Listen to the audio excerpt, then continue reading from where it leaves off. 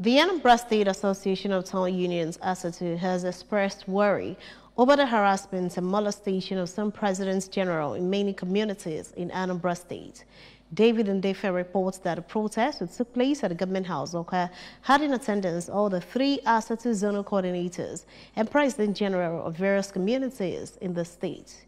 Details of this report from here.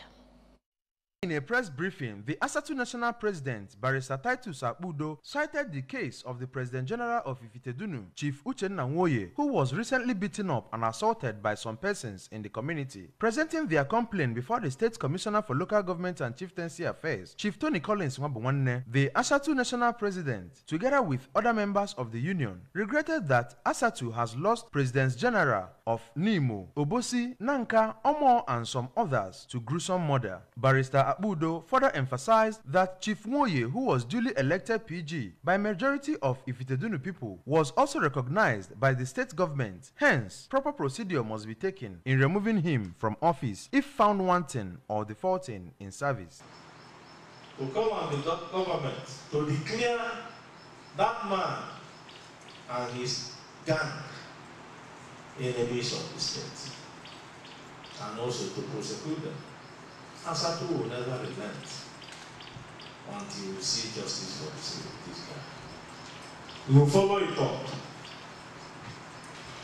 In their separate contributions, the Asatu Second National Vice President and PG Osumowu Town Union, Ichie Chika Dennis Mominfe, Okija PG Ken Emakai, and his Ezinifite counterpart Nzenwora Ekwilo, represented by Honorable Emeka Umakuka, amongst others, commended the National President for his efforts. They shared their experiences and lamented over the constant bad treatment meted on members and called for more proactive measures to tackle the situation.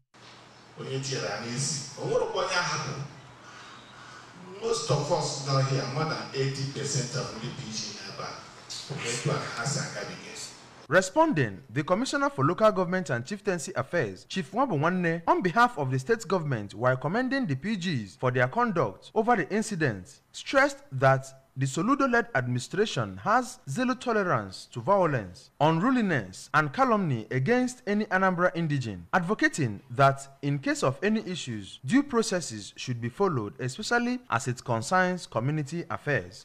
He affirmed that governor is already aware of the incident and is already taking the necessary steps to addressing the situation. He also noted that Governor Chukwuma Soludo has also directed security agencies to commence investigation and bring the culprits to book. We have actually informed the security agencies to take notes. And I thank the President Generals for the way they've conducted themselves, you know, and show of support, you know, solidarity. So we're going to take it up from here um, make sure that um, those who beat up the President General of the will bring to